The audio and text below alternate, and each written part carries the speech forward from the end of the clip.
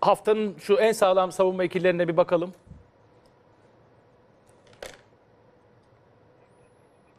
Bakalım programın anasını